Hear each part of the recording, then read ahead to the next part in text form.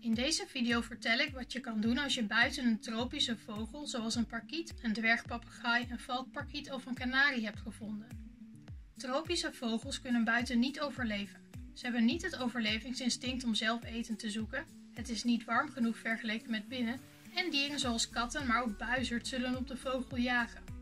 Hierdoor zal een tropische vogel snel sterven als hij voor lange tijd buiten is.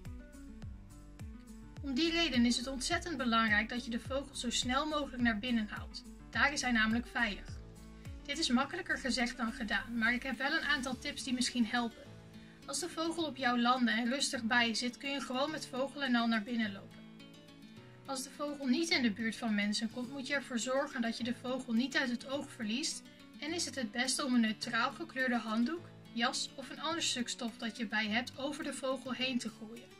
Je kan de vogel dan met doek en al pakken, wel goed vasthouden, en stop de vogel dan tijdelijk in een doos of laat hem los in huis. Ook kun je een stuk net of een groot schepnet gebruiken om de vogel te vangen. Maar houd er rekening mee dat de vogel waarschijnlijk erg van een schepnet schrikt, waardoor de kans groot is dat de vogel weer wegvliegt. Als de vogel eenmaal binnen is, is het belangrijk dat je alle ramen en deuren sluit, zodat de vogel niet opnieuw kan ontsnappen.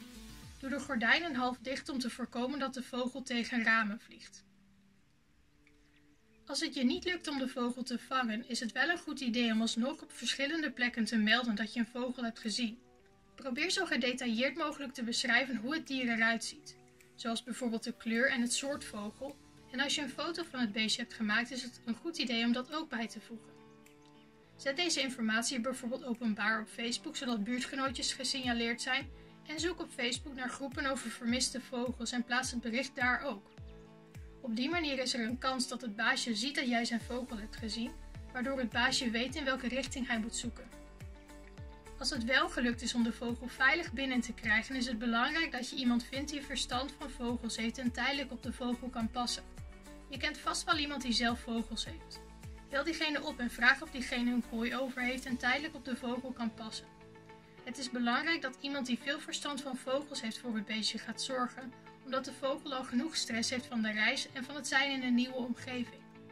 Iemand die goed ingespeeld is op vogels kan het beste zorgen dat de vogel zich zo prettig mogelijk voelt. Als je niemand kent die de vogel tijdelijk kan opvangen en je zelf niet het gevoel hebt dat jij zelf tijdelijk voor de vogel kan zorgen, kun je een lokaal vogelasiel opzoeken. Die hebben vast een plekje over. Ik ben zelf niet een groot fan van deze optie, omdat het heel erg lastig is om het baasje van een vogel weer terug te vinden. Als je het dier overdraagt aan een asiel, is de kans dus groot dat hij voor lange tijd in een te klein hokje opgesloten wordt, met weinig interactie met mensen en soortgenootjes. En je weet nooit hoe streng het asiel is qua eisen omtrent herplaatsing. Maar doe vooral wat voor jou op dat moment goed voelt. En hou ook het geluk en de gezondheid van het dier in gedachten.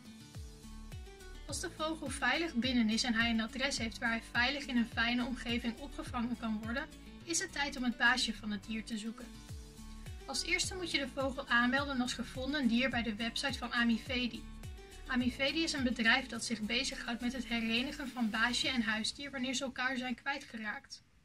Kijk ook gelijk even tussen de vermiste dieren op de website van Amifedi. Misschien staat daar het vogeltje wel tussen dat jij gevonden hebt en kun je op die manier het baasje terugvinden. Verspreid het nieuws ook op social media, zoals bijvoorbeeld via een openbaar bericht op Facebook.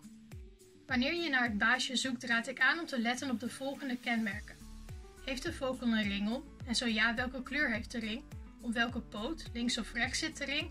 En welk ringnummer staat er op de ring? Is de vogel gekortwiekt, dus zijn de slagpennen afgeknipt waardoor de vogel niet meer goed kan vliegen? En hoe tam is de vogel? Zet deze informatie niet zomaar allemaal op social media. Deze informatie kan je namelijk goed gebruiken om te herkennen of iemand echt het baasje is. Als iemand je een berichtje stuurt, kun je dan bijvoorbeeld vragen: Oké, kun je me vertellen of de vogel geringd is? En zo ja, kun je hem het ringnummer en de kleur van de ring geven? Op die manier weet je met een stuk meer zekerheid dat de vogel echt terug gaat naar zijn eigenaar.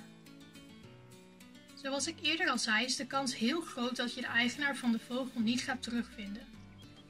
Er wordt wel eens gezegd over vermiste vogels dat elke vermiste vogel nooit teruggevonden lijkt te worden en dat elke gevonden vogel geen baasje lijkt te hebben.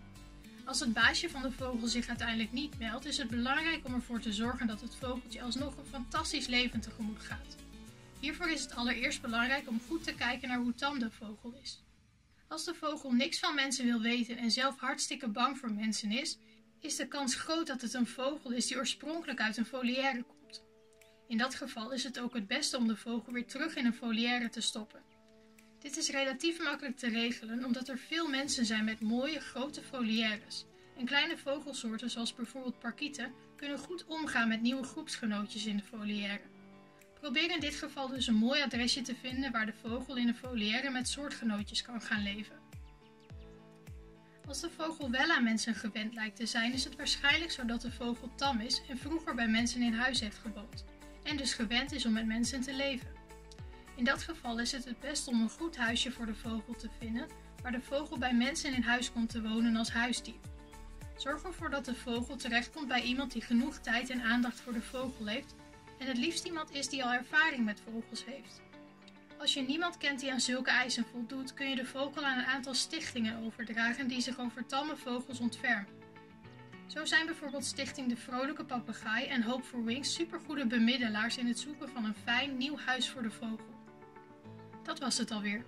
Hopelijk helpt deze informatie om te weten wat je moet doen wanneer je buiten een tropische vogel gevonden hebt. Thanks for watching!